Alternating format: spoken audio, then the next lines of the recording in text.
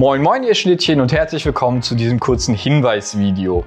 Es gibt ab sofort eine Coaster Toaster Map. Das heißt eine eigens von mir erstellte Karte bei Google Maps mit allen Zielen, die äh, ich schon mal besucht habe, beziehungsweise wo ich Videos zu gemacht habe.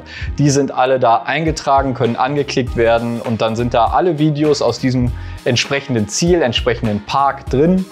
Und ja, ich bin eh Fan von unnötigen Spielereien und Krimskrams, deswegen habe ich mir gedacht, auch wenn es zehn Jahre zu spät ist und alle das irgendwie schon mal gemacht haben, ich lege da jetzt auch mal eine an, einfach der Übersicht halber. Und ja, zeige euch einfach mal ganz kurz, wie das Ganze funktioniert.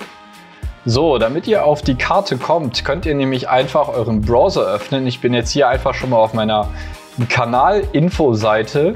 Da habt ihr einmal die Möglichkeit, hier diesen Link zu kopieren oder aber ihr klickt hier oben auf das Google Maps Symbol und dann kommt ihr zu Coaster Toaster Maps. Hier findet ihr quasi alle Ziele, äh, wo es Videos gibt, wo ich schon mal war. Ich habe es ein bisschen aufgeteilt in Deutschland, Österreich, Schweiz, Niederlande, Belgien, Frankreich, in Polen, äh, Skandinavien, die Emirate, USA und Kanada.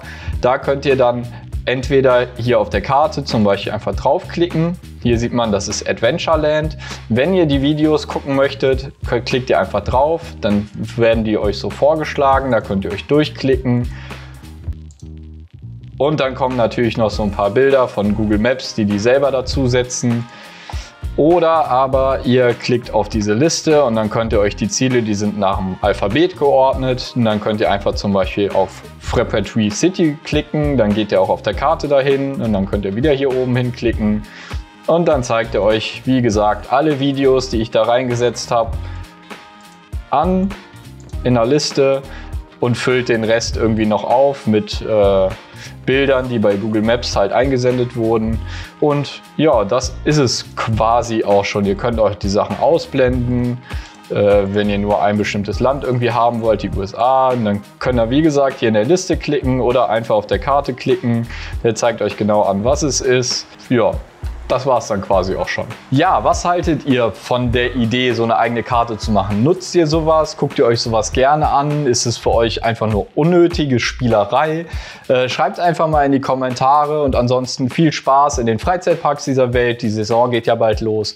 Und äh, klickt mal ein paar andere Videos noch an, so das Achterbahnlexikon zum Beispiel, ein paar Rankings, die ich gemacht habe oder die Filmempfehlung zum Film Achterbahn von 1977. Richtig, richtig cooler Klassiker. Oder auch die Parkvorstellung vom Disneyland Paris oder sonstiges.